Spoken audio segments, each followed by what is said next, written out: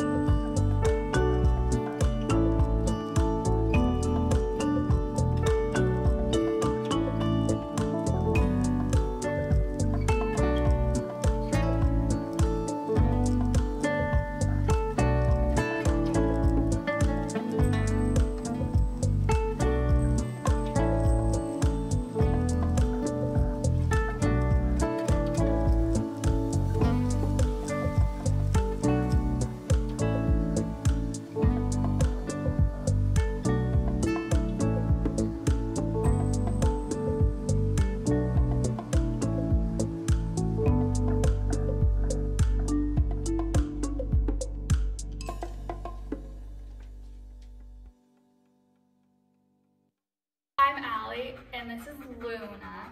The past 15 days have been amazing. She is a completely different dog, and I think we're gonna be able to do some more fun stuff together.